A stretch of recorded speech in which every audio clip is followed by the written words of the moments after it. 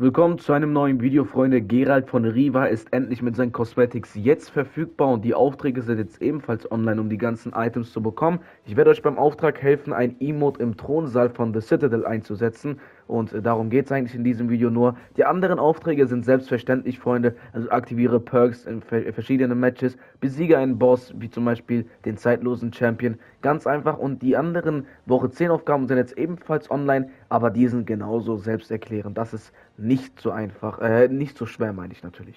So, Freunde, The Citadel, äh, Citadel kennt ihr ja, es ist einfach das Schloss vom zeitlosen Champion und sein Thronsaal ist hier auch wo sein Thron ist natürlich. Also tanzt ihr einmal und dann schließt ihr automatisch die Aufgabe ab und bekommt das Emote oben drauf. Ich hoffe, ich konnte euch helfen. Lasst ein Like da und ein Abo, würde mich freuen. Bis zum nächsten Video. Haut rein und ciao.